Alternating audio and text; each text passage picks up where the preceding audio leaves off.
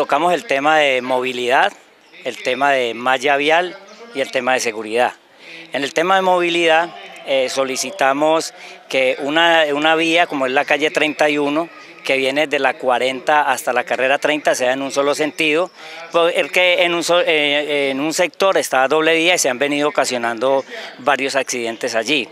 También estamos pidiendo en movilidad la señalización vial y la instalación de unos reductores de, velocidad en unos puntos estratégicos donde se han venido presentando accidentalidad. La Comuna 1 eh, no goza de espacios de zona verde para que los jóvenes practiquen el deporte. Fuera de eso nos encontramos con el inconveniente de que el Colegio Ignacio del Pacífico lo cierran eh, el fin de semana para ingresar a hacer ejercicio o cualquier actividad deportiva. Entonces esa es la viabilidad del complejo deportivo que tenga la gente a donde acceder a hacer sus prácticas. Bueno, sí, eh, yo lo que le, más le solicitaba al señor alcalde es,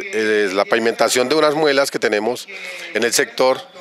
eh, porque pues eso eh, causa bastante problema, problemática con la, con la vecindad, porque en esos sitios que están sin pavimentar es donde se está, cuando llueve se está viniendo el agua toda hacia el sector del parque y de la calle 42B.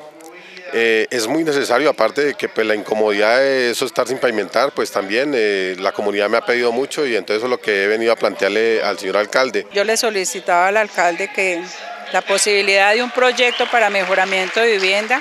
y que tenga en cuenta esas viviendas especialmente este sector del barrio Victoria. Lamentablemente, por falta de cultura de la misma comunidad del barrio Victoria y de otras personas que nos visitan en el barrio, eh, se ha presentado un gran problema, que dejan sus vehículos en la carrera 33, del lado a lado extremo de la vía, poniendo en una situación muy difícil para el acceso de las ambulancias y de los diferentes, eh, digámoslo así, instituciones de socorro, cuando tengan que desplazarse para poder llegar a las clínicas.